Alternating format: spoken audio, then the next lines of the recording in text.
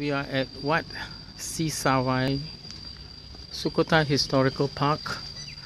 Wat Si Sawai was built during the Sukhothai period stretching from uh, 1238 all the way to 1398 so it's more reminiscent of a Hindu period in Sukhothai and the three prangs or towers are supposed to represent Brahma, Vishnu and Siva. The temple has been reconstructed by the Thai Archaeological Department. Uh, basically, the structure is intact, but of course, the lintels and the reliefs and the carvings are long gone. This is possibly about 700 years old. You can still see the Kala Makara decorating the entrance of the temple. Right, and possibly the most important god would have been Shiva. Uh, it's a close up of the temple per se.